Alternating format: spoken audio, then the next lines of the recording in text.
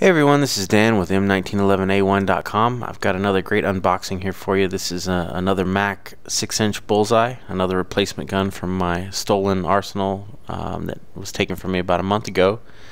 Uh, this is the first time in a long time since I've uh, moved away from my Rock Island Armory uh, go-to. I'm, I'm a big Rock Island Armory fan. I've had Springfields, I've had uh, STI, I've had several other brands in the back in the past, and I've always come back to Rock Island Armory.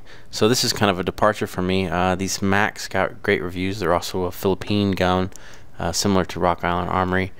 Uh, they're imported by Eagle Imports Inc. and you can see them at eagleimportsinc.com and they've got a couple of brands under their umbrella. They've got uh, Bersa, American Classic, they've got the Mac, the SPS, uh, Grand Power, and Comanche, I believe are the other brands that they carry. Uh, one thing that's interesting about the Mac over at uh, Rock Island is that it comes with the magwell, it comes with the uh, serrations on the slide, and uh, they're also supposed to be hand-fitted guns, so they, they leave the shop in a somewhat custom state. And this is actually the stainless that we're going to look at. I have another review for the the uh, blued version of this same pistol, and I'm a big fan of long slide, so typically I buy a long slide whenever I can afford to. Um, it just so happens I had some insurance money from being uh, ripped off, so I could uh, get a couple of these Macs in one sitting. So let's get started. This is a really nice uh, looking case. It's got kind of a funky font here. You can see kind of the uh, Logan's Run font, which is interesting. Metro Arms. It seems to be pretty well packaged. I just briefly looked at it when I accepted it from my FFL, so this will be the first time that we look at it together um, in a true unbox. And very similar to the blued version. It comes wrapped in a in a Visqueen container. It has the shots fired envelope on the date. And this one's actually um, back to 51314, which is a year ago or so from today. The trigger lock, the pistol itself, um, the instruction manual. And again, this case is very reminiscent of a Dan Wesson where it's cut out to actually fit the pistol in different ways. Uh, it's kind of funny with this foam backing there. Um, now, when I did look at this at the FFL, it's a pretty incredible pistol, and there really is a lot of attention to detail to it.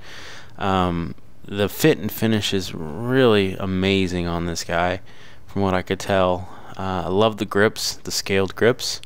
Um, it has the magwell, uh, the bolted-in magwell, the extended magazine, this is an ACT mag that comes with it, and this did just come out of the box, but let's go ahead and do a safety check on it. Um, it is clear. You can see that it does not have anything in it. One of the things that kind of was interesting to me when I pulled it out at the FFL was that the the barrels extended past the slide, which is kind of an interesting take on that, and it'll be uh, neat when I break it down for the first time to see how it differs from some of the Rock Island offerings in long slide versions. Um, I'm not a big fan of the giant billboard on the side of the pistol. I wish they'd do away with that and kind of go back to the classic Mac. Uh, when I pulled the trigger on this guy, it is unbelievable. I think out of all the 1911s, and this is going to hurt my Rock Island feelings, but uh, out of all the 1911s that I've ever had, this trigger is by far the best. I mean, it is, it is like a glass rod breaking. It's incredible. Um, my only complaint out of the box without having shot it is that it shows a fiber optic sight in the catalog and this is not a fiber optic sight so that might be a replacement at some point. Um, again it's beautiful beautiful finish.